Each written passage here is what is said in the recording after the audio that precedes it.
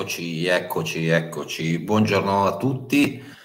Solito appuntamento, ormai solito appuntamento della domenica mattina con gli episodi degli anticipi. Questa settimana abbiamo avuti quattro di anticipi. Vi annuncio subito che non tratterò Udinese Sampdoria, un po' perché non è successo praticamente nulla di interessante, un po' perché la partita l'ho vista a pezzi, dato che ero, ero in trasferimento da casa mia a Milano a Cologno Monzese per le partite del tardo pomeriggio sera del sabato. Ora, mh, mm, come sapete, c'è stato l'anticipo di venerdì, non abbiamo fatto la trasmissione ieri perché c'era veramente poco di cui discutere, una partita che non, non c'è stata, come avevo detto, in sede di presentazione delle designazioni, partita di seconda, di seconda fascia, per la quale c'erano tre barra 4 gol di differenza e infatti da, il risultato del campo ci ha detto proprio questo, la partita è finita 5-0, eh, è successo qualcosa di cui dobbiamo discutere, ma nulla che possa essere che potesse, potesse giustificare una trasmissione intera relativamente a quanto accaduto a Milano. Ora, ehm, per quanto riguarda ieri, eh, c'è un ci sono alcuni episodi di cui dobbiamo discutere, sul quali poi dopo ci, ci, può essere anche, ci può essere legittimo spazio di interpretazione, ma la parte che più mi interessa questa mattina è sottolineare quanto un gioco di prospettive possa portare a delle fake, che possano portare soprattutto a una visione completamente sbagliata di quello che in realtà è successo, vedendo le immagini a vedendo le immagini in, dalla, dalla prospettiva corretta, non da quella che vogliamo vedere. E mi riferisco all'episodio tra Abram e Demiral, su cui arriveremo. Uh, come vedete qua sotto scorre il banner relativamente, relativamente, agli abbonamenti al canale per sostenere il canale gratuitamente. Se siete abbonati Prime di Amazon Prime potete flaggare la, flaggare il quadratino eh, sotto, vedete c'è la possibilità di abbonarvi, se scorrete in basso potete flaggare usa Amazon Prime e avrete l'abbonamento gratuito e in questa maniera sosterrete il canale che ha bisogno comunque, come tutti i canali, di essere sostenuto anche a livello economico, oppure se non avete Amazon Prime, l'abbonamento mensile è di pochi euro, 4 euro, che potranno essere utili per continuare questo progetto. Dopo questa introduzione direi di cominciare con gli episodi. Gli episodi porteranno via un quarto d'ora circa, né forse neanche, dopodiché apriremo come sempre la discussione con voi per eventuali curiosità, eventuali dubbi che abbiate e anche la discussione perché su Ibram di Miral la discussione si può legittimamente aprire. Iniziamo da Inter Salernitana, arbitro Marinelli che come sapete è uno dei miei favoriti, nel senso che eh, ho sempre creduto in Marinelli come arbitro di alto livello, era la ventunesima partita in Serie A, la partita finita 5-0 e potremmo pensare che è stato tutto semplice. Oggettivamente sì, eh, non ci sono stati strascichi perché ovviamente la partita non me ne vogliono i tifosi della Salernitana, ma non è praticamente mai esistita dopo il decimo minuto. Eh, detto ciò, Marinelli non mi è piaciuto, per quanto sia uno dei miei favoriti, per quanto abbia enorme stima del, dell'arbitro, per quanto sono, sono convinto che sarà uno dei protagonisti a livello arbitrale dei prossimi anni, Marinelli non mi è piaciuto per niente in tutta la partita. Eh, Marinelli ha questo metodo di direzione che a me piace molto, cioè quello di fiscare molto poco e di ammonire ancora meno, ma ci sono alcune circostanze nelle quali le sanzioni tecniche disciplinari non sono soltanto necessarie, ma sono doverose. E sorvolare su falli e su ammonizioni che sono dovute non è amministrazione corretta di una partita, ma sono errori. E Marinelli li ha commessi. Eh, ha commesso parecchie imprecisioni in questa partita, tanto è vero che se io fossi stato l'osservatore più di 8,40 non gli avrei dato, nonostante una partita finita 5-0. Andiamo a vederlo. Um, già da subito si è capito che qualcosa non era ben centrato nella serata di Marinelli. Dopo due minuti Barella, se vi ricorderete, in area di rigore rimane a terra tenendosi la testa. Voi sapete che Eh, per colpi alla testa bisogna interrompere il gioco immediatamente. Marinelli sarebbe stato giustificato se non avesse visto Barella. In realtà si è girato un paio di volte verso il giocatore dell'Inter a terra in area di rigore, nonostante questo ha lasciato continuare il gioco. Errore. Errore perché? Non tanto perché si trova in area di rigore, ci interessa poco la zona in cui un giocatore è a terra, ma perché per i colpi alla, alla, testa bisogna interrompere immediatamente il gioco a tutela dell'integrità fisica del giocatore, perché i colpi alla testa, come sapete dal regolamento, sono tutelati in maniera maggiore, giustamente perché la testa è una zona del corpo molto sensibile e non si sa mai cosa può succedere. Pertanto Marinelli doveva interrompere il gioco, ed eravamo al secondo minuto. Nel corso del, secondo, del primo tempo la digestione disciplinare è stata un po' a caso, oggettivamente mancano almeno due munizioni. Ho voluto veramente sintetizzare, ho voluto essere magnanimo il più possibile. Mancano due munizioni almeno. Una per Castanos per un fallo molto evidente su, su Bastoni, tra l'altro Bastoni aveva, avrebbe avuto fronte, di fronte a sé almeno 15 metri di fascia completamente libera, intervento in ritardissimo che poteva essere punito sia per spaccio e per azione potenzialmente pericolosa che per imprudenza perché il pallone era nettamente passato. E poi manca la munizione a Brozovic che nel primo tempo ha commesso quattro falli e come sappiamo non è necessario che ci sia un'imprudenza o una spa, ma può essere un giocatore ammonito anche per una frequenza, una alta frequenza per un numero eh, ripetuto di falli e Brozovic doveva essere ammonito. Nel secondo tempo, anzi sempre nel primo tempo, poi al 42esimo viene ammonito De Vrij, una munizione che oggettivamente non ha senso, perché al di là del fatto che viene concessa una norma del vantaggio, ma non è neanche una norma del vantaggio perché De Vrij non ha commesso fallo, e questo è il punto. Alla fine dell'azione Marinelli ammonisce De Vrij, non si è capito bene perché, perché De Vrij ha nettamente anticipato l'avversario che nell'occasione era Giudice, eh, dopodiché c'è stato un normale contatto di gioco, cioè una scivolata, il pallone è stato nettamente preso da De Vrij e poi c'è stato un contatto tra le gambe. Niente di che, niente di eclatante. È vero che c'è la possibilità di ammonire per imprudenza anche nel caso in cui dopo aver preso il pallone si prende il giocatore, ma in questo caso era semplicemente un contrasto di gioco. Al settantesimo minuto spesso non ci soffermiamo sul, sugli assistenti, ma in questo caso è necessario soffermarsi sugli assistenti. Il settantesimo minuto in occasione della rete del 5-0, rete del 5-0 che viene in primo momento annullata per un fuorigioco di Geco. Ora, eh, l'avete visto, probabilmente i più attenti saranno accorto che l'assistente Tolfo nel momento in cui ha segnalato il fuorigioco di Geco si trovava disallineato di almeno 5-6 metri e perciò è andato totalmente a caso e questo non può essere accettabile in una partita che, di Serie A. Tolfo è uno dei migliori assistenti che ci sono in circolazione, uno di quelli che quest'anno ha avuto un rendimento costante. Alla prossima giornata sicuramente lo troviamo in Serie B, perché un errore di questo genere non è giustificabile.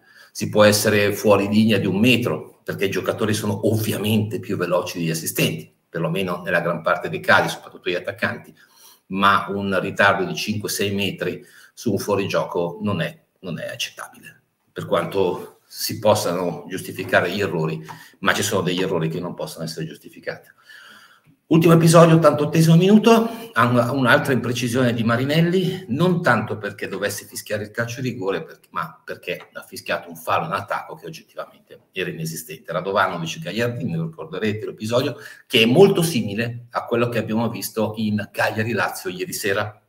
Non l'episodio del rigore assegnato, ovviamente, che è completamente diverso come fattispecie, ma il rigore che invece non è stato assegnato. Vi ricorderete, eh, Gagliardini entra in aria, supera eh, supera il giocatore Radovanovic della Serenità, cade a terra Marinelli, Marinelli scusate c'è, e Marinelli eh, fischia un fallo in attacco a Gagliardini, fallo in attacco che è inesistente. Voi direte, e allora perché non è intervenuto il VAR? Perché in realtà su questi episodi ormai non si fischia più, giustamente, a mio parere, come sapete, negli anni scorsi ho condotto una battaglia personale con poco o nullo risultato, nullo o con nessun risultato probabilmente, però mi sono sempre battuto contro i rigorini. E questo era il classico rigorino. C'è un contatto sulla parte, eh, sulla, sul polpaccio di Gagliardini, ma veramente poco per assegnare un calcio di gol. Detto ciò, la, uh, il fallo in attacco è inesistente, come è successo ieri sera a Maresca in Cagliari-Lazio, ma ci arriveremo. Detto ciò, una partita di Marinelli piuttosto deludente, devo dire, eh, non credo che l'abbia presa sotto gamba, semplicemente credo che sia una di quelle serate in cui non va tutto per il verso giusto. Detto ciò, meglio che succeda una partita che finisce 5-0 una partita che finisce 1-1. Questo mi pare abbastanza palese. Cagliari-Lazio.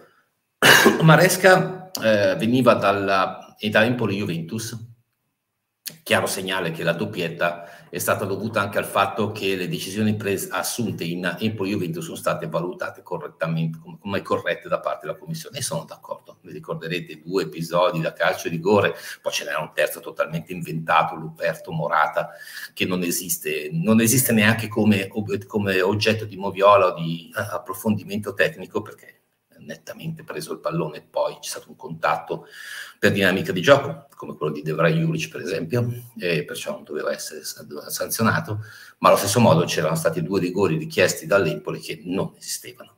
E infatti Maresca è stato giustamente designato in doppietta per Cagliari-Lazio. Eh, partita secondo me arbitrata bene, c'è un errore sul quale dovremmo tornare, anzi secondo me ce ne sono due di errori e qualche episodio un po' così. Um, diciamo che gli errori commessi sono due e mezzo, ecco, mettiamolo così, dai, per, per essere buoni questa volta. Quindicesimo minuto c'è il calcio rigore che porta in vantaggio la Lazio dopo un field review. Lo sapete, in campo è veramente complesso vedere i falli di mano. Il VAR è stato introdotto non certo solo per questo, ma anche per questo motivo. Uh, il replay, anzi scusate, le immagini originali, quelle in diretta, sinceramente non aveva lasciato nessun dubbio, nel senso che non mi ero accorto assolutamente del tocco di mano. Dubbi che invece sono emersi subito dal secondo replay, perché Altare eh, si è frapposto immediatamente col braccio sinistro molto molto largo, eh, ha cercato un po' di ritrarlo, ma c'è, c'è stato anche un movimento del braccio verso il pallone Rigore oggettivamente indiscutibile, come pure indiscutibile la munizione, perché si trattava di un tiro diretto verso lo specchio della porta. Motivo per cui direi che possiamo sorvolare tranquillamente perché si tratta di un episodio tutto sommato semplice. Eh, 65 minuto l'episodio che vi dicevo, eh, c'è un contrasto in area di rigore tra immobili classi che assomiglia molto a quello tra Gagliardini e Radovanovic, non viene fiscato rigore e a me piace così c'è l'errore perché è stato fischiato un in attacco assolutamente inesistente perché Immobile non ha commesso assolutamente nessuna infrazione sul giocatore Grassi del Cagliari. Eh, detto ciò, mi fa piacere che questi rigori non vengano più assegnati perché uno dei concetti che ho espresso più volte e che continuo a ribadire che il rigore è una roba seria e questo sostanzialmente non era un qualcosa che potesse portare ad un calcio di rigore. Qua continuano a scrivermi, vabbè, niente, un'altra cosa. 75 minuto, questo secondo me è l'errore più grave di Maresca in tutta la partita, la munizione di Marin su Felipe Anderson, io l'ho definita molto infelice, nel senso che non ha senso, sostanzialmente. Felipe Anderson è scivolato e si è portato dietro con sé Marin, eh, Maresca ha fischiato con grandissimo ritardo perché secondo me neanche lui era convinto, ma una volta che viene fischiato fallo in, atta- in difesa è ovvio che la munizione è automatica per Spa il problema è che il fallo non esiste. Poi c'è stato un episodio agli ultimissimi minuti con Lovato già ammonito che ha rifilato un colpo a pallone lontano a immobile. Non è da cartellino rosso perché non c'è violenza, però è una sciocchezza che doveva essere ammonita per comportamento antisportivo, però c'è un problema. Il VAR ovviamente non può intervenire perché si tratta di una ammonizione, nel momento in cui c'è stato questo contatto, Maresca stava guardando tutt'altro, stava guardando il giocatore, credo che fosse Radu, se non ricordo male, forse un giocatore, comunque un giocatore sulla fascia sinistra che stava per fare la rimessa laterale e si è perso completamente questo contatto tra Lovato e Immobile. Poi Immobile ha molto accentuato, tant'è vero che poi fine, abbiamo visto alla fine della partita che festeggiava senza avere nessuna conseguenza. Detto ciò, Lovato ha coperto, ha messo una sciocchezza, un'ingenuità, se Maresca l'avesse visto l'avrebbe munito per la seconda volta. Tra l'altro la prima munizione nasce da una protesta per un presunto errore dell'assistente Bindoni che aveva assegnato calcio d'angolo a favore della Lazio. Decisione correttissima, perché effettivamente l'ultimo tocco era stato di un giocatore del, del Cagliari, perciò una, una prima munizione ingenua per una decisione corretta di Bindoni, seconda munizione che gli è andata bene di non aver subito proprio perché c'era Maresca che era un po' distratto, probabilmente aveva avuto un minimo di cali di concentrazione. Arriviamo a Roma-Atalanta.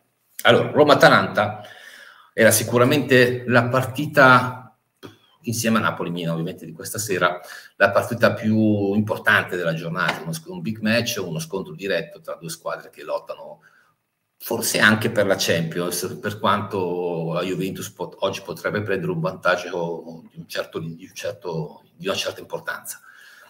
Massa è stato veramente, veramente bravo, ha confermato quello che eh, si è visto in tutta la stagione fino adesso, pochissimi, pochissimi errori in tutta la stagione, quello che è successo quest'estate deve essere stata come una molla, ha fatto capire a Massa che eh, occasioni di questo genere ce ne capitano una volta nella vita, una volta che si esce, si esce per sempre, questo ve lo posso testimoniare. Eh, manca ancora adesso a me il campo, figuriamoci.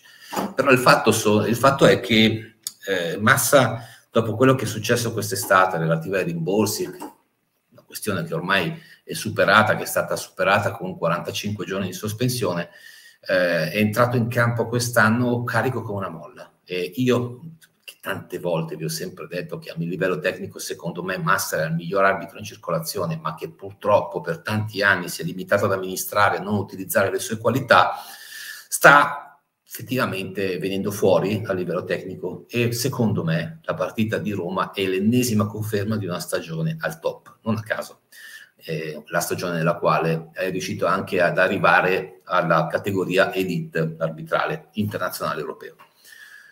Vediamo gli episodi. Eh, 17 minuto c'è stato eh, un contatto in aria tra Zalewski e Miranchuk, eh, rischioso, perché se l'arbitro avesse fischiato il calcio di rigore, se Massa avesse fischiato il calcio di rigore, il VAR non sarebbe intervenuto perché si tratta di un episodio valutativo di campo per quanto riguarda la spinta. Per quanto mi riguarda, sono contento che non abbia fischiato. Il concetto è sempre lo stesso: il rigore è una roba seria. Questo c'è stato un leggero contatto, ma una delle note, dei, dei, dei, parametri che dovete tenere presenti è questo: che il calcio di rigore non deve essere assegnato se l'attaccante in qualche maniera cerca il contatto. Esattamente quello che è successo ieri a Milan, che una volta visto Zaleschi, che era leggermente in ritardo, ha eh, interrotto, ha eh, rallentato la corsa proprio per farsi colpire. È andato giù, devo dire che mi è, mi, è, mi è, piaciuto il fatto che non abbia protestato più di tanto, perché anche lui si è reso conto che il contatto era piuttosto marginale. Giusto, a mio parere, lasciar correre bene massa nella valutazione di falli che, anzi, di contatti che ormai non vengono più sanzionati col calcio rigore e questo è un bene soprattutto per eh, lo spirito del gioco, perché lo spirito del gioco è quello di segnare una rete in più, non di, di guadagnarsi un rigore in più. Subito dopo c'è l'episodio sul quale ci, c'è da discutere, c'è, la, c'è, ampio margine di discussione, cioè quello tra Demiral e Ibram. Prima di iniziare a vedere quello che è la mia opinione per quanto riguarda questo episodio, voglio farvi vedere quello che vi ho annunciato, cioè il fake. Utilizzando il tweet di legittimo, per carità, di Demiral, eh, come vedete viene utilizzato il, il video di Demiral per far vedere un supposto contatto della gamba sinistra di Demiral, effettivamente molto alta, sulla tibia di Ibram. Prospettiva. Da questa prospettiva sembra effettivamente che la gamba sinistra di Demiral sia molto alta e vada a colpire in un punto molto alto Ibram. Vedendo questa immagine, se non avessimo visto il video, anzi per una persona che non ha visto la partita, la prima impressione è questo è rosso netto, pieno. Ed effettivamente sarebbe rosso pieno se le cose fossero andate realmente così. Ma in realtà questo è un fake. E adesso vediamo. Eh, datemi un secondo per condividere lo schermo e arriviamo a, a questo.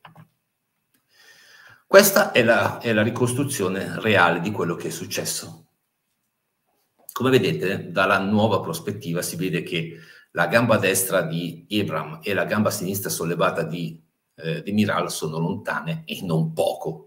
Siamo più o meno sul metro di distanza, no? Perché Ebram, come vedete, con i tacchetti eh, calpesta la, la, gamba sinistra appena sotto il ginocchio di Demiral, su questo ci torneremo, dopodiché vedete che la gamba si abbassa e non c'è alcun contatto tra la gamba sinistra di Demiral e quella di Ebram. Voi direte, vabbè, chi, chi se ne frega? Interessa questo? È interessante perché costruire una fake news è molto semplice. Basta, soprattutto nel calcio, basta utilizzare una, un gioco di prospettive. E col gioco di prospettive è facile ingannare l'utente meno attento. E questo succede tanto spesso. E l'abbiamo visto perché non, non soltanto su Twitter in generale, ma anche sotto i miei post. Qualcuno mi ha segnalato, fai vedere Demiral che doveva essere espulso perché ha preso la gamba destra con la sinistra. La realtà è che non c'è stato questo episodio. Altro è discutere dell'episodio in sé. Ora, ehm, Massa non si è accorto di niente, tanto è vero che ha fischiato probabilmente su suggerimento della, dell'assistente numero 2, lo Cicero, eh, il fallo in attacco perché il fischio è arrivato molto tardi. C'è un'immagine molto carina in cui si vede dopo il contatto di Ebram su Demiral che Massa fa gesto di proseguire perché ha visto il tocco di Demiral sul pallone. Dopodiché fischia e ammonisce giustamente Ebram, secondo me giustamente. Perché c'è limite, c'è spazio di discussione. A voi i più scaltri avranno, ricorderanno che questo è un episodio simile, che è quello del famigerato Inter Juventus del 2018, con l'espulsione di Gagliardini per fallo su, eh, su, su, su Mandzukic. Effettivamente simile. E chi mi segue da tanto tempo ricorderà certamente che cosa avevo detto in quel caso, che non era un episodio da VAR, se avesse lo Stato deciso per il cartellino rosso in campo, ne avremmo preso atto, ma avendo deciso per il cartellino giallo, doveva rimanere quella la decisione. Esattamente quello che è successo ieri.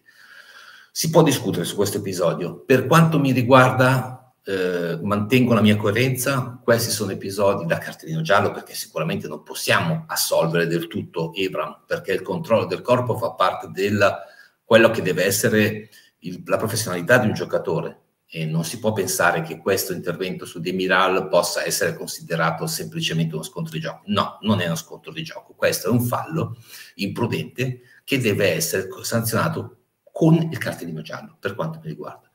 Rimane certamente aperto la discussione sull'eventuale cartellino rosso in campo. Si può discutere, se ne può discutere, eh, come si poteva discutere sul fallo di Manzuc, su Manzukic da parte di Gagliardini Inter Juventus del 2018, ma per quanto mi riguarda, quello che ho detto allora lo ripeto adesso. Bisogna anche considerare la dinamica dell'azione. È anche vero che Ibram non è andato a cercare l'avversario, questo non esclude il fatto che ci sia imprudenza, ma non c'è quella vigoria sproporzionata che sarebbe stata dovuta a un contatto con il giocatore che si muove verso il giocatore ed è Miral che per anticiparlo alla fine la gamba la mette lì e eh, Abram deve stare attento perché l'intervento in questo caso è stato molto molto pericoloso. Per quanto mi riguarda, giusto il cartellino giallo, bene l'assistente perché Massa non aveva visto questo fallo, bene l'assistente a far interrompere il gioco e a combinare, far combinare la munizione. Non succede più nulla durante la partita, una partita che mi aspettavo molto più tesa, eh, che invece è stata arbitrata veramente bene da Massa e che si è un po' accesa nel finale. 94 minuto, l'espulsione di Derun è ingiustificabile, nel senso che un giocatore come Derun non può, non, non può pensare di farla franca in quella, quel che è caso. E Massa ha cercato fino alla fine di non espellerlo. Tanto è vero che la seconda munizione espulsione per doppia munizione, non per il solo rosso diretto. La seconda munizione è arrivata all'ennesima protesta di Deron. Fallo o non fallo? Non ci interessa. Vista in presa diretta sembrava un fallo abbastanza evidente.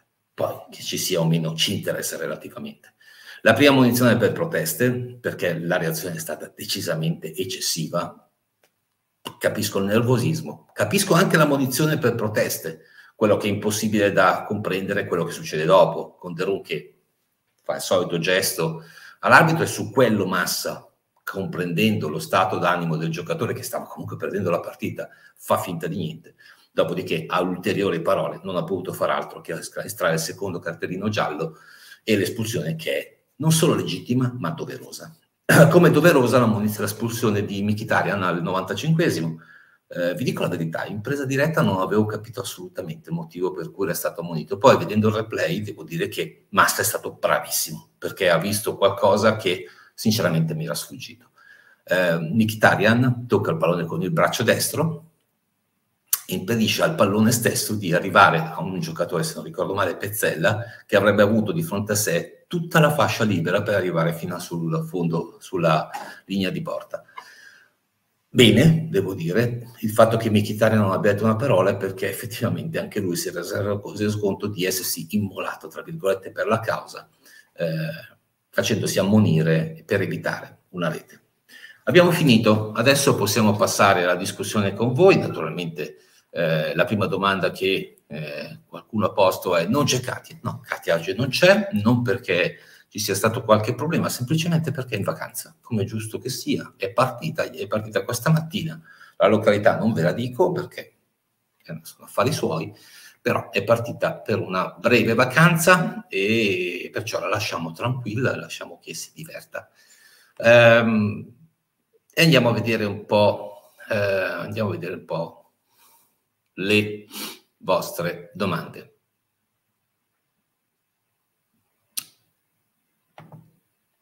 Dobbiamo prendere cookie e registrare dagli studi Marilyn Come tutto il VAR minuto per minuto.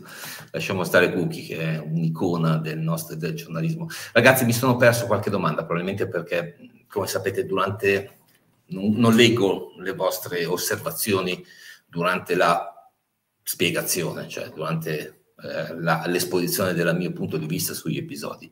Perciò se me ne perdo qualcuno abbiate pazienza. Vi ricordo ancora, guardate qua sotto, flaggate, flaggate la, la, possibilità di, utilizzate la possibilità per chi è in possesso di Amazon Prime di iscrivervi al canale che ci aiutate a sostenere questo progettino che piano piano verrà eh, amplificato, ampliato, scusate.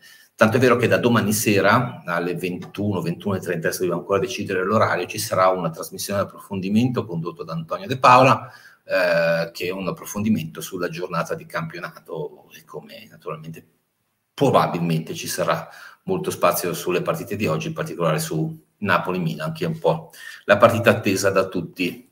Un piccolo particolare conclusivo Oggi pomeriggio sarò in commento per Dazon su Juventus Spezia e ovviamente per Napoli Milan. Grazie a Legalas, Legalas 2021, che si è abbonato per il secondo mese. Considerando che abbiamo iniziato da un mese e mezzo, direi che un abbonamento di due mesi merita quantomeno un plauso. Ringrazio, lo ringrazio veramente tanto. Allora, Calo de, calo de Best 93. Massa secondo me ha una tendenza eccessiva a premiare i difensori. Ieri ha rischiato di perdere il controllo della partita proprio per una serie di contattini fischiati a favore dei difensori, contatti sugli attaccanti non fischia mai. Non sono assolutamente d'accordo. La partita Roma-Atalanta era una partita che sulla carta era molto difficile, molto complessa perché sono due squadre tignose, che non è un, un insulto, è una, è una caratteristica Ieri eh, Massa ha fischiato benissimo, ha fatto benissimo, non fatevi fregare dalle dichiarazioni dei giocatori che ovviamente lavorano sempre pro domo proprio. Eh, c'è stato forse, forse sì, un caso c'è stato in cui avrebbe potuto evitare il fischio che è un contatto tra Pessina e Zaleschi. Sì, sì, sono d'accordo totalmente. Se non avesse fischiato sarebbe stato meglio, ma in generale ha semplicemente fischiato quello che doveva fischiare una partita veramente molto complessa e la partita non l'ha per niente persa, non l'ha mai persa. Tanto è vero che fino al 94esimo è scorsa via tranquilla, qualche protesta ovviamente perché è Roma-Atalanta, non stiamo parlando del derby Cavallasca-San Fermo, stiamo parlando di Roma-Atalanta. Cioè Roma-Atalanta fino a dieci anni fa probabilmente era una partita di seconda fascia, Roma-Atalanta oggi è un big match perché l'Atalanta è ormai da anni in quella situazione e la Roma è sempre la Roma. Perciò cerchiamo anche di dosare le valutazioni su, sulla base delle partite che stiamo vedendo, non di quello che può essere la conduzione di una partita di seconda categoria. Secondo te per dinamica questo fallo di Ibram su Di Miral può essere simile a quello dell'espulsione di Okereke con Linetti qualche giornata fa? Sì. Secondo te, secondo me comunque se avesse dato rosso sul campo non avrei avuto molto da ridire. Infatti quello che ho detto, se, avesse, se fosse stato dato sul campo eh, se ne sarebbe discusso ovviamente, perché è una partita che prevede un'espulsione al ventesimo minuto, ovviamente poi da, da discutere, soprattutto se il risultato finale non premia quella squadra rimasta in inferiorità numerica, ma eh, non è episodio da VAR. E qua voi, voi direte, eh, ma tu è però che lei che ha detto che è episodio da VAR. Vero? L'ammetto, ho sbagliato. Nessun problema a dirlo. Nessun problema a dirlo.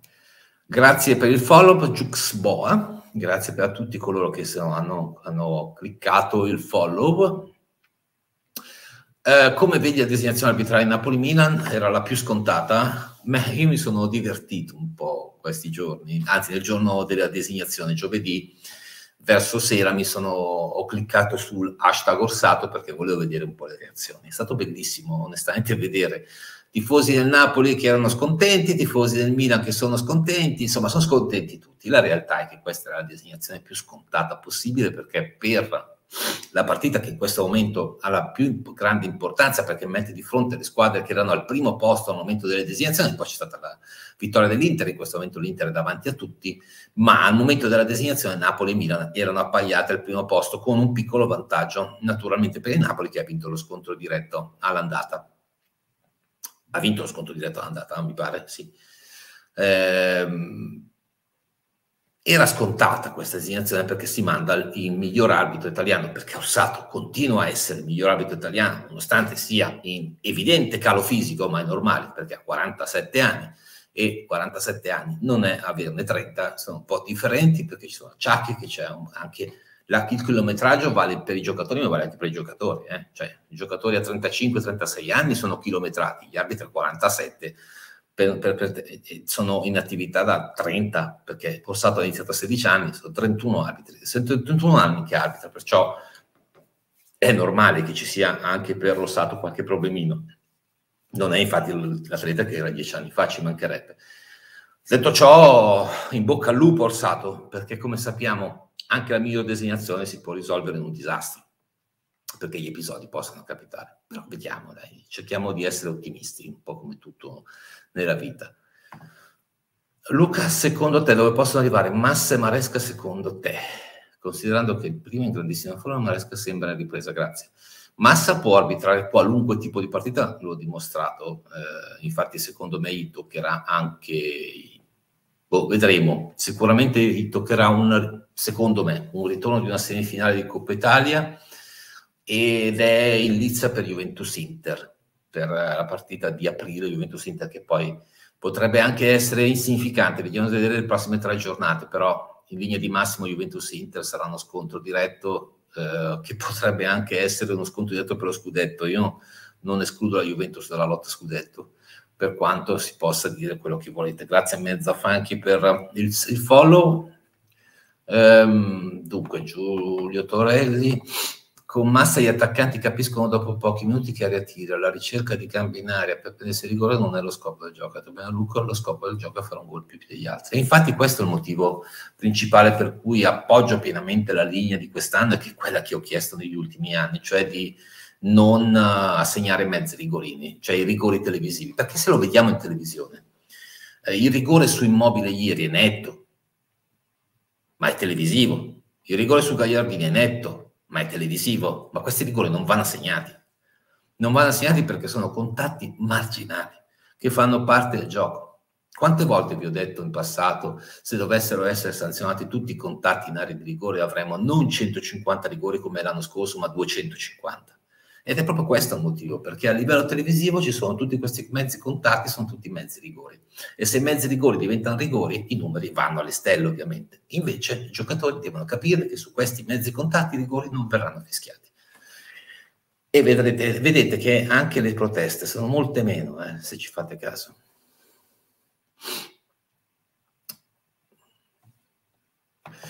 Dunque, Massa Sosta Doveri, migliori arbitri della stagione? Eh, sì, mm, però anche Orsato. E infatti Orsato, da quello che mi risulta, è primo in gradatoria, non per caso. Cosa ne pensi dell'atteggiamento salvo XXIIP? Dell'atteggiamento di molti arbitri dare i gialli sommando le scorrettezze commesse durante la partita non basandosi sul singolo episodio che è previsto dal regolamento. Nel regolamento è previsto che un giocatore possa essere ammonito per somma di falle. Quando vedete gli arbitri fanno uno, due, tre al, al giocatore è perché stanno applicando quella parte del regolamento, cioè la possibilità di ammonire un giocatore per molteplici scorrettezze. È previsto dal regolamento, è anche giusto. È per questo che dico che Brozovic andasse, dovesse essere ammonito nel primo tempo di Inter Salernitana, perché nel primo tempo di Inter Salernitana ha commesso quattro infrazioni e secondo me Marinelli ha sbagliato perché andava ammonito. Se ci fosse stato un esordiente ci sarebbero stati più scontenti. Boh, vediamo, non lo so. Cioè, alla fine la, la, realtà è perché per Napoli-Milan si sarebbe lamentato chiunque per qualunque designazione. Perciò la realtà è che Napoli e Milan sono ben contenti di avere come arbitro Rossato. Poi può succedere l'imponderabile, l'abbiamo visto, no? Abbiamo visto che è successo l'imponderabile in tante partite anche con i migliori. Orsato, eh, ve lo ricorderete, Inter Juventus del 2018 è passata e rimarrà nella storia sportiva eh, come una delle partite più contestate di sempre, una partita arbitrata malissimo, al di là dell'episodio di cui tutti si sono occupati anche fin troppo. Però sulla carta la designazione di Orsato è la migliore possibile, giustamente deve, sì. Ecco sì, grazie per avermi ricordato che Costoletta che bello, però sto di nickname. 0-1 con reti di Elmas, scusate ma io non ricordo tutti i risultati a memoria, figuriamoci se non mi ricordo proprio quasi nessuno in realtà, perché non mi interessa, cioè quello che mi interessa sono tutt'altro. Domanda fuori dagli episodi, gli arbitri quanti giorni si allenano? In media, allora ti dico quello che facevo io mi allenavo 5 giorni su 7 e due di questi giorni avevo sessione mattutina e pomeridiana, la pomeridiana la facevo in palestra per rafforzamento muscolare. Una volta avevo una bella tartaruga, adesso la tartaruga si è girata e sta prendendo il sole. Gli anni passano per tutti. Fanno resistenza corsa tutte e due. La resistenza, beh, a parte che non è resistenza, velocità sarà la domanda, non la corsa è ovvio che la fanno tutti, eh, tutti i cinque giorni. Solitamente la resistenza era il, il mercoledì, mentre invece la velocità era il martedì poi adesso non mi ricordo esattamente qual era il mio programma. Fanno da solo hanno qualche tipo di staff? No, hanno un preparatore atletico che viene pagato dalla, dalla, dall'AIA. Eh, praticamente in ogni, nella sede di, nella sezione, la sede della sezione del, di ogni arbitro di Serie A e B c'è un polo atletico e il polo atletico responsabile è un eh, preparatore atletico che viene scelto solitamente eh, per accordo dell'arbitro, della, scusate, della sezione e dell'associazione. Io avevo un bravissimo allenatore, un campione italiano, tra l'altro di, eh, dei 100 metri over 35, eh, che mi ammazzava, però devo dire che gli anni della Can sono stati migliori dal punto di vista atletico, anche se ho avuto parecchi infortuni, ma sono, sono paradossalmente stati infortuni traumatici per, per un arbitro è molto strano perché non ci sono contratti di gioco, ma in realtà tutto è dovuto alla frattura del perone per uno scontro ad Ascoli, dopodiché ho avuto un sacco di problemi fisici perché avevo una scheggia dell'osso all'interno della, della rotula, ah, scusate, all'interno del ginocchio che mi ha combinato un macello nella cartilagine.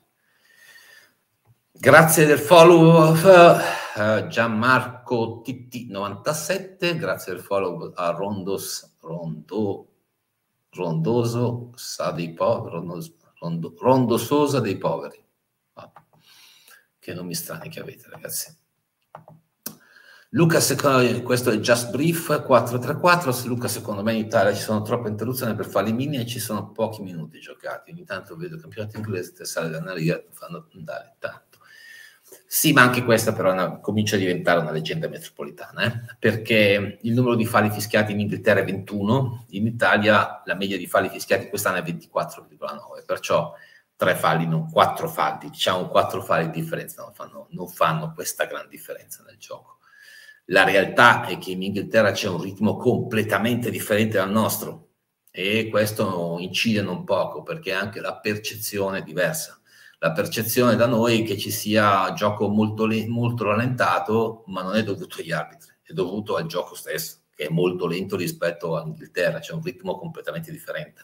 Perché se voi pensate a 21 fari in Inghilterra, 24 in Italia, la differenza, diciamo 25 in Italia, la differenza non è un granché. Con 4 fari non si perdono 10 minuti poi ci sono le perdite di tempo su quelle bisogna lavorare, su questo c'è poco dubbio, perché ci sono alcune squadre, non me ne vogliono, ma per esempio Udinese è una squadra con la quale è difficile giocare perché hanno questo tipo di gioco, quello di rallentare molto i ritmi.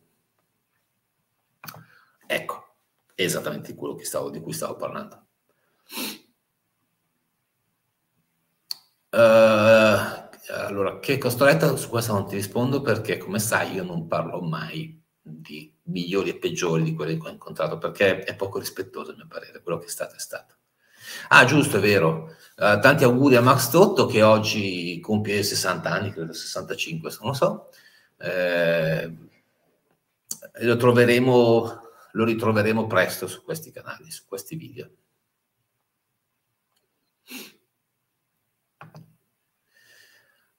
non se ne salva uno quest'anno, media 8,30 per tutti. Ti posso dare questa notizia. E alla Cannes non esiste un arbitro che abbia una media sotto l'8,30, perciò fatti due domande e dati due risposte. È già il primo, era giallo clamoroso, non so a cosa tu ti riferisca.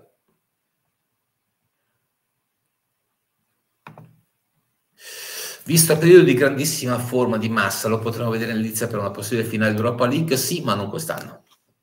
Quest'anno no, quest'anno i candidati sono ben altri ovviamente. Non possiamo pensare che un arbitro che ha 5-6 presenze in Champions League possa essere preso in considerazione, non essere candidato, ma preso in considerazione per la finale d'Europa League ovviamente ci sono tanti arbitri con 20, 25, 30, 40 presenze, presenze in Champions League e anche nella fase di eliminazione diretta che non ha mai diretto una finale e che ovviamente sono in Lizza. È ancora un po' presto per fare dei pronostici, però secondo me un candidato forte è Oliver eh, per la finale di Europa League eh, o anche ce ne sono altri, ma ci arriveremo anche su questi pronostici. A proposito, volevo dirvi questo, che eh, da giovedì eh, sarò impegnato in commento anche per le partite di Europa League e Conference League perché siamo agli ottavi di finale e perciò ogni episodio comincia a essere potenzialmente decisivo, perciò vi dovete sopportare anche in Europa League e in Conference League. Il Messias di turno. Che cavolo di, di nickname che trovate, ragazzi miei. Beh, complimenti alla vostra fantasia. Ciao Luca, quanti dovrebbero essere secondo te in un solo campionato gli arbitri di alto livello sul totale? Guarda, l'ideale sarebbe che fossero 48 su 48 gli arbitri di, arbitri di alto livello. Se vogliamo parlare di arbitri affidabili per qualsiasi tipo di partita, direi una dozzina. E in questo momento non ci sono, ce ne sono 6-7, però una dozzina sarebbe meglio. Just brief, quando si parla di arbitri si avrebbero mandato dato l'arbitro di esperienza, il Milan starebbe con 6 punti in campionato falsato. Vabbè, questa è una tua opinione, non sono, non sono per niente d'accordo, ma va bene. Io prendo atto del fatto che uh, Filippo, a me non è ancora andato giù il fuorigioco geografico di Giroud, speriamo stasera una bella partita senza episodi. Allora Filippo, non è un fuorigioco geografico. Cioè, questa è una delle tante balle che vengono raccontate il fuorigioco di Giroud è stato giudicato un fuorigioco attivo. Il fuorigioco geografico non c'entra assolutamente niente, è una cazzata che viene diffusa da certe persone per far passare quello che non è, cioè come uno scandalo. Non è uno scandalo quell'annullamento. Possiamo avere dei dubbi? Sì, secondo me non andava annullato, te lo dico molto chiaramente. Quel gol secondo me non andava annullato perché eh, Giroud non poteva muoversi, non si è mosso verso il pallone e soprattutto era bloccato a terra da Juan Jesus. Ma tenete presente questo, non è fuori gioco geografico, non c'entra niente fuori gioco geografico, è una cazzata che viene utilizzata da alcune persone perché vogliono aumentare le recriminazioni dei tifosi. Te lo ripeto, per me andava convalidata quella rete, ma non c'entra niente fuori gioco geografico. quella posizione di Giroud è stata considerata come fuorigioco attivo. Mm. Ah, che pazienza. Uh, dunque, vediamo un po' perché vuol dare un po' di spazio a Liverpool-Inter Lauz. Non lo sapevo. Adesso vado a controllare subito, fatemi, fatemi fare un controllo al volo di queste designazioni perché me le sono perse, probabilmente sono uscite stamattina. Naturalmente vado a vedere, eccole qua, così abbiamo anche un'informazione di servizio. Effettivamente Liverpool-Inter è stata assegnata all'Auz, uh, significa, cosa significa? Che Rosetti non la dà per scontata perché eh, l'Auz l'anno scorso ha arbitrato la finale di Champions. Perciò evidentemente Rosetti non si fida e ha, fatto, ha proceduto a una designazione di altissimo livello per Liverpool-Inter. Sapete che a me l'Auz non è che piacesse un granché, negli ultimi due anni invece mi sono ricreduto perché effettivamente ha compiuto dei passi avanti molto molto evidenti. Bayern Monaco, Salisburgo è stato designato Turpen, perciò bene o male era uno di quelli attesi da questo punto di vista. Grazie per il follow Andrea Giacomazzi, eh, grazie Ninja, l'ho visto adesso Turpen, grazie mille. Eh, bravissimo. Perfetto, Legola, sono assolutamente d'accordo. In Inghilterra fanno avanti e indietro porta a porta. In Italia ci passiamo la palla 10 minuti sulla metà campo, non sono arbitri ma i giocatori. È inutile negarlo. Il livello tecnico dell'Inghilterra è nettamente superiore al nostro, perlomeno in questo momento. Io mi auguro che nel giro di qualche anno possiamo, si possa arrivare ad avere lo stesso livello dell'Inghilterra, ma francamente faccio fatica a pensarlo. Faccio fatica a crederci, diverso, perché le differenze di introiti tra Italia e Inghilterra sono talmente elevate, stiamo parlando a proporzione 1 a 4, in Italia più o meno si incassa un miliardo, in Inghilterra ne impassano 4 di miliardi, potete ben pensare che se l'ultima, la, retro, la squadra retrocessa, che è arrivata ultima, retrocessa dalla Premier League, prende quanto la squadra che in Italia vince lo scudetto, eh, il, problema è abbastanza evidente, eh? il problema è abbastanza evidente.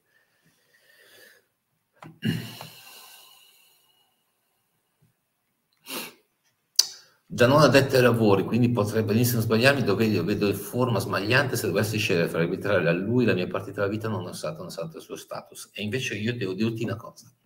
Secondo me Doveri nelle ultime due uscite non è stato brillantissimo per niente. È stato brillantissimo fino a tutto febbraio, anzi metà febbraio, diciamo gennaio. Nel mese di febbraio è andato un po' in calo. Eh, non mi è piaciuto tantissimo, devo dire, Doveri non mi ha entusiasmato. Mi ha entusiasmato fino a gennaio, febbraio un po' così così. Nessun problema, che costretto, nessun problema. Sì, ok, mi, sì, Brozovic non al primo, secondo me al secondo deve essere ammonito. Eh, non ne ho la più pallida idea chi farà Real Madrid PSG. Eh, Boh, non lo so, su, guarda, sulla, sulla designazione internazionale non, non, ci perdo tanto tempo perché, perché non ho tempo e perciò solitamente verso la fine de, della stagione sulle designazioni delle finali ci perdo un pochino più di tempo perché è anche interessante poi cercare di intuire chi potrebbero essere gli arbitri delle, semi, delle finali e anche delle semifinali, ma per quanto riguarda le finali, le, queste fasi sinceramente non mi interesso particolarmente perché non ho tempo. Dunque, Giasperi Luca, ma devo dirti, devo dire, quest'anno non mi piace proprio l'arbitraggio, tutti i parametri diversi per uno, il rigore, per... Ma no, vedi, questa è sempre la solita problematica. Eh, per uno è rigore, per un altro no, è sempre stato così. Sia nell'anno in cui c'erano 187 rigori, cioè due anni fa, sia l'anno scorso con 150, sia quest'anno che siamo sui 70-75 perché, perché c'è sempre la soggettività e soprattutto c'è sempre l'occhio del tifoso che vede rigore ovunque a favore e mai rigore contro dall'altra parte, perciò vede soggettività. In realtà io quest'anno vedo molto, molto... Vi faccio un esempio, vi faccio una, una riflessione. Eh, voi ricordate un articolo di giornale o una opinione televisiva di qualcuno che dice questa stagione degli arbitri è eccezionale? No. È sempre disastrosa la, la, la stagione degli arbitri, sempre disastrosa. La stagione degli arbitri è sempre disastrosa, da sempre. E perciò qua si, si, incunea nella testa di persone che non riescono a ragionare particolarmente in maniera lucida, si insinua la, la certezza che gli arbitri sono tutti scarsi. Perché? Perché non ci sarà, non c'è, perché è molto semplice fare hype dicendo stagione degli arbitri disastrosa. Io, io ho 50 anni, direi che seguo il calcio da 45 e in 45 anni non ho mai sentito di una stagione positiva degli arbitri. La stagione questa, questa stagione degli arbitri è stata definita disastrosa in questa settimana. Ebbene, io vi dico che questa stagione è la migliore in assoluto degli ultimi dieci anni, con decisioni che sono state molto coraggiose, con una rotazione molto più ampia, con un numero di errori molto minore, con una serie di episodi che sono stati giudicati bene. E il fatto che si sta, si stanno, siamo a metà dei rigori assegnati l'anno scorso è un grande risultato. Il fatto che ci siano giovani che possano, l'anno prossimo già saranno nell'elite come Marinelli e Sozza, è un grande risultato perché eravamo immobili da anni. Tempo, quante volte vi ho detto della questione annosa del fatto che non c'era ricambio? Il ricambio c'è adesso. Noi siamo arrivati a questa giornata con Rocchi che aveva la possibilità di scegliere per Napoli-Milan non un arbitro, ne poteva scegliere cinque non c'era una scelta unica. Poi ha scelto Orsato perché è giusto scegliere Orsato, perché in questo momento ci vuole il numero uno per la partita più importante. Ma avrebbe potuto potenzialmente scegliere tra cinque arbitri. Massa, Doveri, Orsato, Irrati. Poteva scegliere chi voleva. Mentre negli anni scorsi c'era il rischio, c'era la difficoltà di trovare un arbitro per una partita. E questo è un grande risultato. La stagione, questa stagione è una grandissima stagione degli arbitri. Ci sono degli errori, normali che sia così. Ma non ci sono errori che abbiano modificato completamente una partita. O meglio, ci sono stati, perché Milan Spezia è stata modificata da un errore, questo non c'è dubbio. Ma ricordatevi sempre, non troverete mai un articolo che vi dirà grandissima stagione degli arbitri. Perché fa più hype dire solita stagione di merda degli arbitri, che non è che non è, io non so qua a difendere gli arbitri, non me ne viene in tasca niente a AIA. Cioè, se, se l'AIA pensano che io sia il loro tuo portavoce, si arrabbiano se do una indicazione, se do una valutazione che non è conforme alle loro idee, me ne frega un accidente. Il mio lavoro è un altro, è quello di giudicare sulla base della mia opinione, non sull'opinione di quella dell'AIA, perché altrimenti sarei un portavoce e non sarò mai il portavoce di nessuno. Mai non sarò mai portavoce di nessuno. Così come le opinioni degli altri le rispetto, ma se vengono dette delle sciocchezze bisogna dire che sono delle sciocchezze, tipo questa storia di Ebram e di Demiral. Cioè, se c'è qualcuno che eh, veicola un'immagine fake, portandola come eh, dimostrazione che Demiral dovesse essere espulso, lo si dice, perché non può passare un'idea di questo genere. Perché stamattina in tanti dicono che Di Milano andasse espulso per il fallo con la gamba sinistra, che passa a un metro dalla gamba destra di, di, di, di, Ebram. Eh, santo cielo. Grazie per il follow, Alessandro. Uh, grazie per il follow, Braccioni e Ermenegildo 54. Dunque, non credo, Ermenegildo, il calcio a 11 il tempo effettivo secondo me è molto lontano dall'arrivare, poi magari mi sbaglio ovviamente. Grazie, ringrazio il Messia di turno per essersi abbonato al canale, vi ricordo che per sostenere il canale potete iscrivervi gratuitamente se avete Amazon Prime, basta cliccare sotto al link sotto del video della diretta, abbonatevi, clic- scendete con il mouse, cliccate Prime e avrete l'abbonamento gratuito a disposizione e potete abbonarvi al nostro canale senza spendere soldi. Se invece volete darci un, po', un piccolo contributo, costa 4 euro al mese, poca roba. Ma che è dritto in finale? Calma, calma, calma. È un candidato. Ciao a tutti, ciao Iperbolico 59. Anche questa è un'altra balla. Jacopelle. L'arbitro di Porto Juve dell'anno scorso che non va al VAR perché era finito il tempo è una balla. il tempo non, non è, questa è, una, è stata una, un'altra, un'altra balla che è stata veicolata da certe persone che non sanno assolutamente nulla di regolamento. L'arbitro di Porto Juventus non è stato chiamato al VAR perché il VAR ha ritenuto che non fosse episodio da un field review, perché l'arbitro può essere richiamato al VAR fino al momento in cui abbandona il terreno di gioco. Perciò l'arbitro in campo, anche se il tempo è finito, può essere richiamato al VAR. Questa storia del VAR che non ha richiamato l'arbitro perché era finito il tempo è una balla dovete cominciare a pensare che quello che leggete non dovete pensarci 10 secondi, dovete pensarci per 100 secondi e poi farvi la domanda, ma sarà vero? Perché una, una notizia verosimile non è per forza vera. Eh? Questa di, Juve, di Porto Juve è una balla, perché l'arbitro poteva essere tranquillamente richiamato. Non è stato richiamato perché il VAR l'ho ritenuto un episodio non da, eh, da, da un film Tutto qua. Grazie per il follow Bonefight. Eh, ecco, Legola su questa ragione, a usare il miliardo non sarebbe male. Dunque, siamo arrivati al minuto 57 e 48, chiudiamo come sempre dopo un'ora, anche perché poi devo andare a preparare, devo prepararmi il pranzo e devo prepararmi per andare a Milano, perché oggi mi aspetta Napoli, Napoli anzi prima Juventus Spezia e poi Napoli-Mina. Alessandro Centra, ciao Luca, potresti darmi le delucidazioni sul fallo di mano di Doge contro Milan? Perché ho sentito opinioni contrastanti da parte di due società, grazie, lo trovi su questo canale, lo trovi qua sotto tra i video della settimana scorsa, ne abbiamo parlato abbondantemente, oppure lo puoi vedere su YouTube, ci sono in entrambe, perché non, non torniamo indietro agli episodi che abbiamo già trattato perché altrimenti non finiamo più. Buongiorno, volevo chiederti come poter, questo è Braccioni che si è appena eh, diventato follower del, del, canale, far evitare meno perdite di tempo possibile, inserire una quota di tempo effettivo, che ne pensi? Grazie, buona giornata. Sono, guarda, sono aperto al tempo effettivo nel tempo di recupero, quello sì, ma per tutta la partita no, sono sempre stato contrario e continuerò ad essere contrario perché non è applicabile.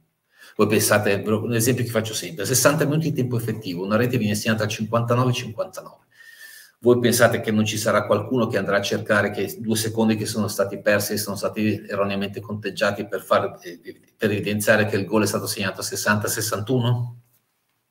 Non cambierebbe niente. Magari si giocherebbe di più, ma ci sarebbero ancora più polemiche, lasciamo perdere. Ciao Luca, ultimamente mi sembra di vedere poco Orsato, solo l'impressione sta effettivamente andando meno in campo. No, è un'impressione perché Orsato è uscito spesso ultimamente, ha arbitrato Paris Saint-Germain, Real Madrid, poi è andato ad arbitrare Venezia-Genova, poi si è fatto il turno da VAR in uh, Salernitana, Bologna e questa settimana arbitra Napoli-Milan. È semplicemente stata una preparazione per arrivare a questa partita. Le partite vengono preparate, non pensate che Rocchi in, improvvisi le designazioni del mercoledì. La designazione di Napoli-Milan è programmata da tre mesi e anche le alternative a Orsato sono programmate da tre mesi, perché la programmazione è fondamentale all'interno di un'attività come quella del disegnatore. Si vede che ho fatto colazione un po' pesante eh, stamattina. Ho mangiato una brioche al cioccolato che è rimasta qua. Non ho più l'età per, per queste colazioni così pesanti. Uh, dunque, dunque, dunque, dunque. Matlips. L'unica cosa che migliorerebbe ancora la qualità arbitrale, a mio avviso, sarebbe qualche cartellino giallo simulazione. Purtroppo non se ne vedo mai.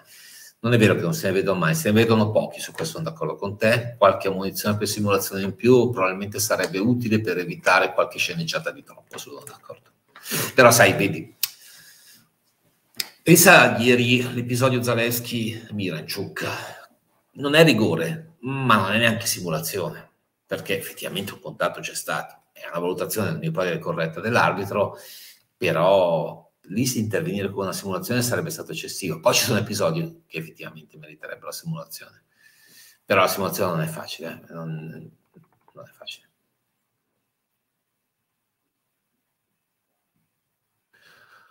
Ah, grazie a Filippo Lubatti che si è abbonato al canale, grazie mille, grazie per il follow a Gabriele So, grazie per il follow alle, D, alle Dips, Grazie per il follow a Smooth Gelord, Smooth Gelord 81, scusate. Eh.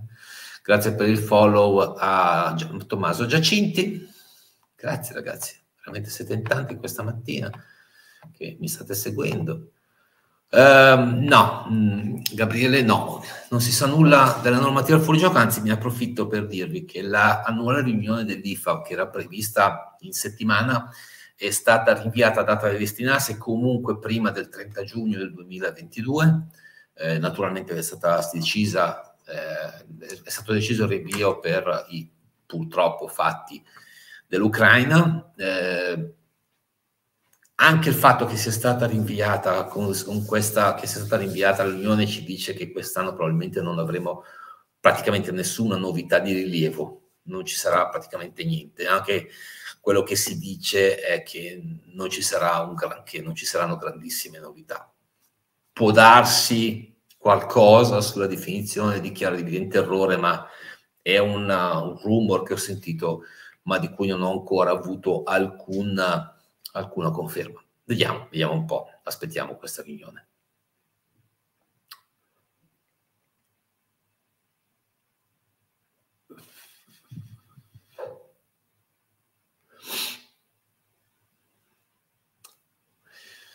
Brutta battuta però stavolta, eh, Dario. Juventus Inter non la farà Giacomelli, purtroppo, o meglio, non purtroppo. Giacomelli è stato sospeso per 14 mesi per una questione di rimborsi, aspettiamo, questo è il primo grado, aspettiamo appello e collegio di garanzia per definire. Nel caso in cui dovesse essere, dovesse essere confermata anche in terzo grado la sospensione di 14 mesi per Giacomelli, carriera finita per regolamento. Grazie per i 50 bits, eh, per lo shuffler, grazie mille. Eh, pranzo mangio gnocchi con ragù. Bene ragazzi, Uh, direi che abbiamo concluso. Io vi ringrazio come sempre dell'attenzione. Il prossimo appuntamento sarà domani, però domani torniamo all'orario classico, cioè alle 18.30. Sarò ancora da solo perché Katia si godre la sua giusta vacanza. Uh, torniamo alle 18.30, naturalmente sperando che ci sia ben poco di cui parlare. Mm? diciamo che speriamo che ci sia ben poco di cui parlare. Io ringrazio tutti per la vostra attenzione, eh, chiudiamo qui, eh, vi, auguro vi auguro soprattutto una buona domenica e buon campionato a tutti, per i tifosi di tutte le squadre, come sempre. Ciao a tutti ragazzi, grazie dell'attenzione.